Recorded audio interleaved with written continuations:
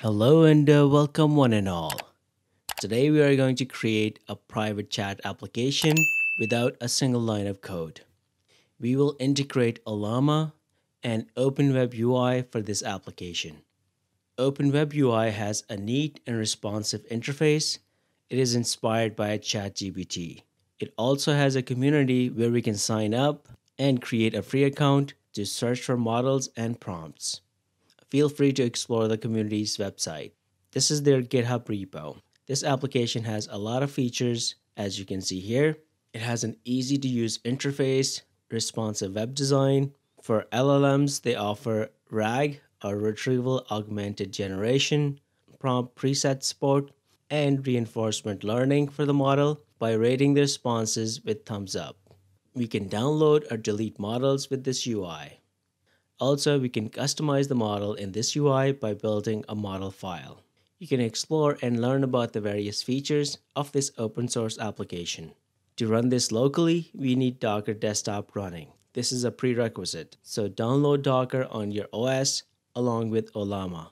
We will run the OpenWeb UI in a Docker container. As I mentioned, there's no coding involved. If you recall from the previous session, we built a chat app with Streamlit where we integrated Mistral model in a Streamlit via code. We installed Ollama on our machine. Therefore, we can run the following Docker command to integrate it with OpenWeb UI in a container. So let's copy the Docker command and we'll run it as is open up a terminal or command prompt and let's paste in the docker command. This command will run and spin up an OpenWeb UI container in a detached mode and this container runs on port 3000. We add the docker internal host and the data for this container will be saved at this location. The container name is OpenWeb UI and finally this is the repo for the OpenWeb UI where we're pulling this image from. Let's go ahead and run this command. If the image is not found locally, it'll go ahead and pull it from the web. Once the download process is complete, it'll create the Docker container and start it. Once the entire process is complete, we should see a new Docker container with the name of OpenWeb UI. The image download is complete and we get a hash for a new container.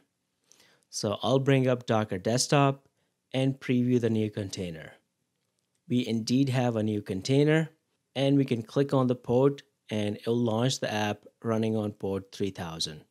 On the first run, we need to sign up and create an account. We can provide sign up details here. This is saved locally, so we can provide any details we like.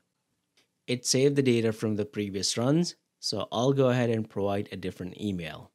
Okay, on the login, it ran into an error it's not able to find the Ollama server on the host machine.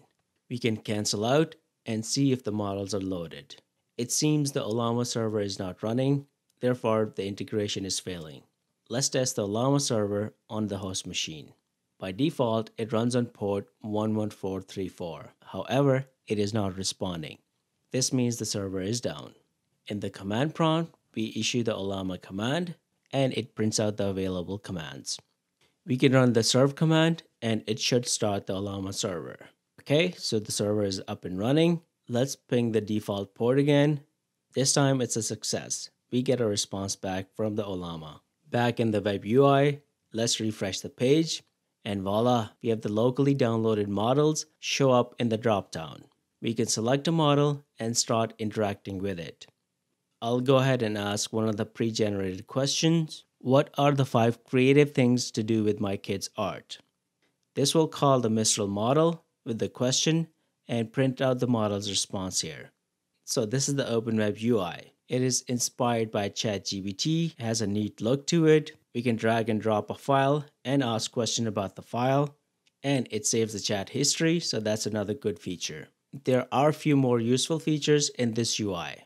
We can create or import prompts as well as create new custom models based on the available models. So let's go ahead and create a custom model. I'm going to delete this existing model and re-import it. As I said, we can also download and delete models from this UI. So to create a new custom model, we'll utilize the OpenWeb UI's community. Let's search for a model. We can see the content of the model file. We can download this by clicking on the Get button.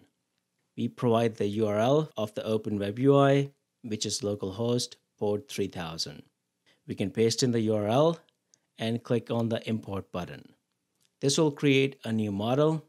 And on this screen here, we can provide a name for the model, tag, and description. This model is based on Mistral, and we are modifying this version of the model for SQL generation. It will provide answers as SQL query for a Postgres database. I'll provide database schema here, and based on it, the model will generate SQL queries to answer our questions. I have a database schema handy. We have the table definition for various tables in the database. In addition, I am providing information on how to join these tables to one another. For example, the sales table joins to the product on the product key. Let's copy the schema and table joins. The schema is based on the database we have developed using DBT. It is based on AdventureWorks data. I have modified the table names to make them LLM friendly. For example, all the dimensions had a prefix of dim, the prefix is dropped. The fact sales table is sales now. These are the final dims in fact. I extract the schema from this database. We provide the schema under user provided database schema. Next step, we tell the model to examine the user's question and provided schema. The query should be in alignment with the schema. This is one way we can customize the model so it provides desired output. We can also provide a prompt suggestion. This can be relevant to what you're customizing the model for Finally, we can select the relevant categories. I am happy with the current selections. So let's go ahead and create and save this model.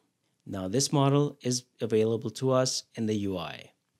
Let's open up a new chat and under the model, let's select the SQL Buddy. This is the prompt suggestion we provided. Let's ask the model a question. What are the top 10 products based on sales? It is going to factor in the system message, prompts, and schema. Then it will try to generate an appropriate response based on them. We'll wait for it to generate a query. If the response looks good, we can pick up the query and run it against the database. It did take a little longer to generate a response, but here we go. It is generating a response. It is providing a rationale for the query it's about to generate. It is generating the SQL query. Let's examine the query to see if it is a valid query based on the question we asked. It did pick up the correct keys to join the sales and the product table. It is summing the sales by product name, which looks correct. Select query is ordered by the total sales, and the query is limited to top 10 rows. The query checks out, so let's copy and run it against the database. By default, the Postgres looks for the table in a public schema. Since our tables are in sales, let's provide the sales schema before the table name. Okay, it's a success. The query executes against the database and the results are promising. The model picks up the column names correctly and provided a working SQL query. This is really amazing. The Open Web UI has reinforcement learning built into it. We can click the thumbs up or down icon every time it generates a response. We can also edit the model's response to provide further training. The more training it receives, the better responses it will generate. So this is how we can set up a ChatGPT-like interface without a single line of code. We integrate the Open Web UI with Ollama Setup. This UI provides us with the various features, including custom models, prompts, and chat history to name a few. This is really an amazing app. Feel free to try it out on your end and explore the various features it offers. Let me know what is your favorite feature of the app in the comments below. Like, share, and subscribe. Take care, and I'll see you in the next video.